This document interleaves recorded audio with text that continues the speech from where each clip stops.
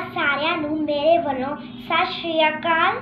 ਮੇਰਾ ਨਾਮ ਅਰਸ਼ਦੀਪ ਕੌਰ ਹੈ ਤੇ ਮੈਂ ਤੁਹਾਡੇ ਸਾਹਮਣੇ ਬੋਲੀਆਂ ਪੇਸ਼ ਕਰ ਰਹੀ ਹਾਂ।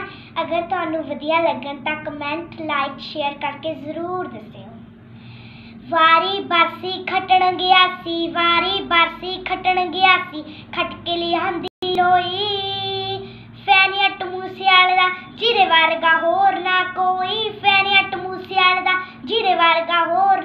ਨਾ ਕੋਈ ਫੈਨੀਅਟ ਮੂਸਿਆਲੇ ਦਾ।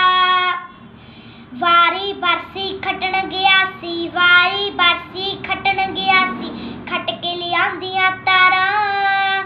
ਦੁਨੀਆ ਹੈ ਫੈਨੀ ਉਸ ਦੀ ਜਿਹਨੂੰ ਕਹਿੰਦੇ ਨਾਟ ਗਿਆਰਾ। ਦੁਨੀਆ ਹੈ ਫੈਨੀ ਉਸ ਦੀ ਜਿਹਨੂੰ ਕਹਿੰਦੇ ਨਾਟ ਗਿਆਰਾ। ਦੁਨੀਆ ਹੈ ਫੈਨੀ ਉਸ ਦੀ ਵਾਰੀ ਬਰਸੀ ਖਟਣ ਗਿਆ ਸੀ, ਵਾਰੀ ਬਰਸੀ ਖਟਣ ਗਿਆ ਸੀ, ਖਟ ਕੇ ਲਿਆਂਦਾ ਚੱਕਾ।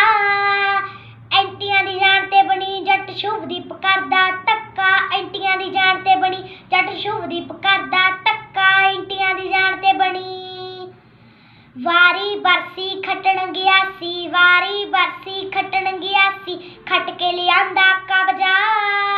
ਮੂਸੇ ਵਾਲਾ ਬੈਲੀ ਨਾ ਕਦੇ ਕਿਸੇ ਤੋਂ ਦਬਦਾ ਮੂਸੇ ਵਾਲਾ ਬੈਲੀ ਨਾ ਕਦੇ ਕਿਸੇ ਤੋਂ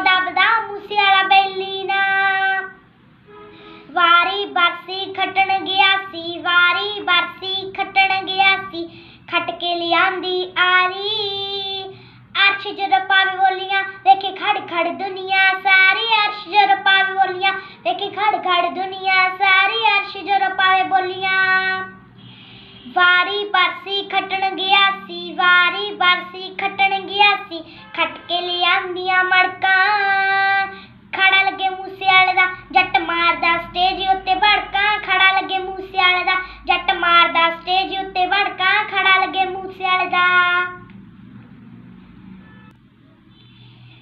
ਲਾਈਕ ਕਰਕੇ ਸ਼ੇਅਰ ਕਰਕੇ ਜ਼ਰੂਰ ਦੱਸਿਓ